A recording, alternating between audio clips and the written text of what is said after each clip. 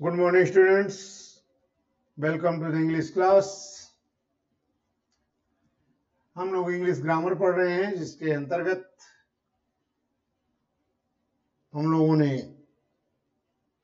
sentence kinds of sentence parts of sentence पढ़ा उसी की कड़ी में आगे हम लोग आज पार्ट्स ऑफ़ स्पीच के एक भाग जिसे कहते हैं नाउन नाउन को हम लोग पढ़ेंगे चलिए सीधा हम लोग पाठ पर आते हैं। Noun the noun and kinds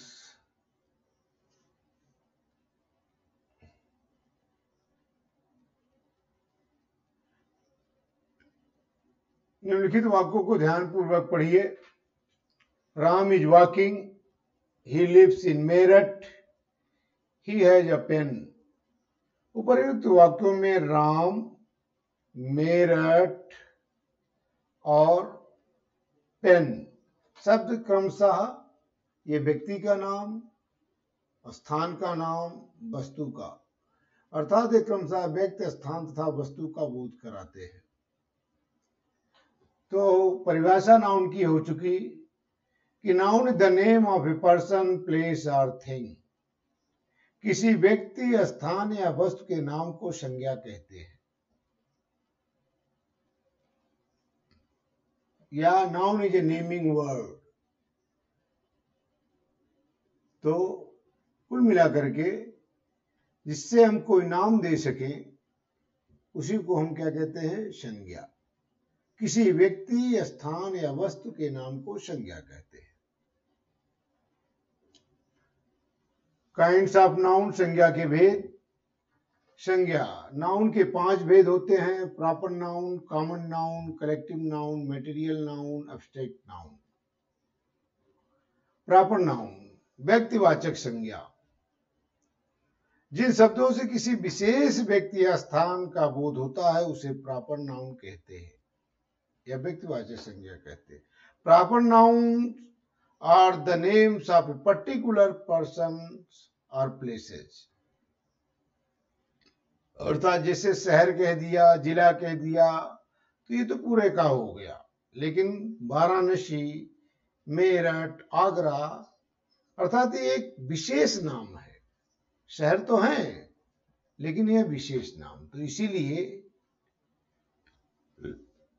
तो the proper proper nouns are the names of a particular person और प्लेसेस निम्नलिखित उदाहरणों को ध्यानपूर्वक पढ़िए।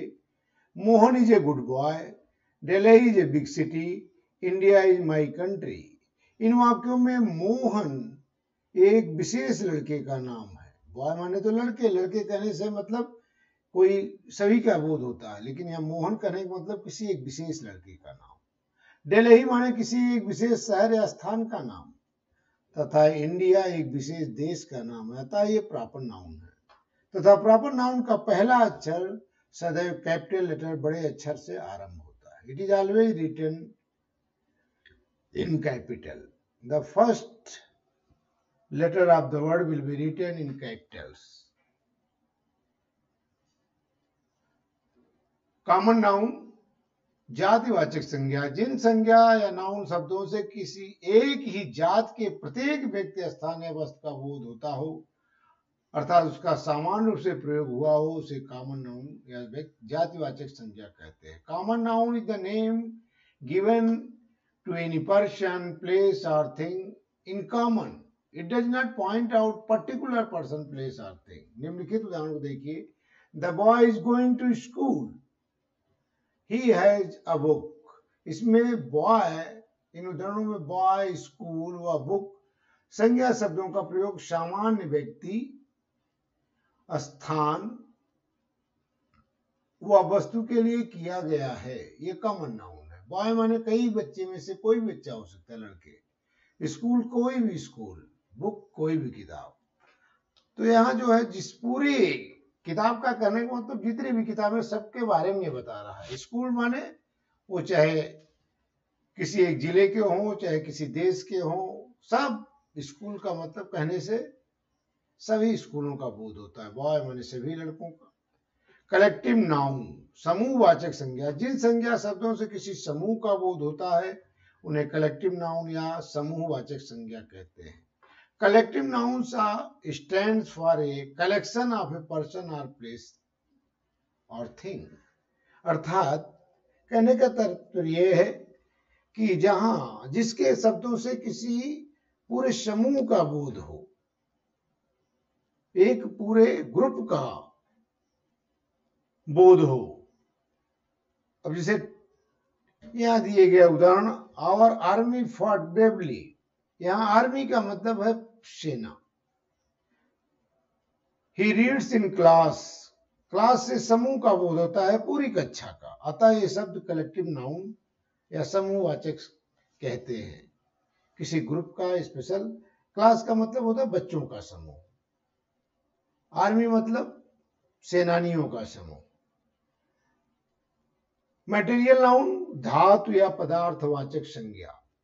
जिन संज्ञा शब्दों से किसी धातु अथवा पदार्थ का बोध होता है, अर्थात जो धातुएँ या पदार्थ किसी अन्य चीज़ का निर्माण में सहायक है, उन्हें मटेरियल, नाउन या धातु या पदार्थवाचक संज्ञा कहते हैं। Noun that's refer to a material are called material noun. अर्थात किसी पदार्थ के बारे में, द्रव के बारे में, धातु के बारे में अगर वो नाम होता है तो वह जो है मटेरियल नाउन कहलाता है। The ring is made of gold iron is a useful metal अब यहाँ देखिए, इन वाक्यों में गोल्ड तथा आयरन किसी अन्य वस्तु को बनाने में काम आते हैं। अतः ये मटेरियल नाउन है, ये पदार्थ है। जिनसे गहने या आभूषण, आयरन से बहुत सी चीज़ें अस्त्र शस्त्र बनाए जाते हैं। अब्स्ट्रैक्ट नाउन भाववाचक संज्ञा। जो संज्ञा शब्द किसी गुण, भाव या अवस्था का बोध कराते हैं, उन्हें अब्स्ट्रैक्ट या भाववाचक संज्ञा कहते हैं। The nouns that refer to a qualify quality sorry the nouns that refer to a quality an action or state are called abstract noun. निम्नलिखित वाक्यों को ध्यानपूर्वक पढ़ें। अर्थात भाव, किसी गुण, भाव या अवस्था का बोध कराए। Honesty is the best policy अर्थात जिसको हम अनुभव कर सकते हैं, लेकिन सोच, स्पर्श करके छू नहीं सकते हैं, केवल अनुभव कर सकते हैं, महसूस कर सकते हैं। इन वाक्यों में देखिए honesty is the best policy bravery is a quality of soldier तो यहाँ ऑनेस्टी और ब्रेवरी ये दोनों ऐसे शब्द हैं जो ईमानदारी, बहादुरी, ये गुण है। ये एब्स्ट्रैक्ट या भाववाचक संज्ञा है। विशेष एब्स्ट्रैक्ट नाउन को सिर्फ़ फील किया जा सकता है, देखा या छुआ नहीं जा सकता है। आप केवल इतना तक पढ़ें, इसके आगे का भाग हम लोग कल पढ़ेंगे। जहाँ कोई दिक्कत हो, समझ में ना आए, क्योंकि ये रिवीजन हो रहा, आपको पहले मैं पढ़ा चुका हूँ, ऐसा नहीं है कि फ़र्स्ट टाइम आपको रिवीजन करा रहा हूँ। तो आप लोग इससे पहले से परिचित है, इसलिए फिर भी इनको अच्छी तरह से लिखें, समझें, और दो तीन बार जो है वीडियो चला करके पढ़ें। Thank you all the best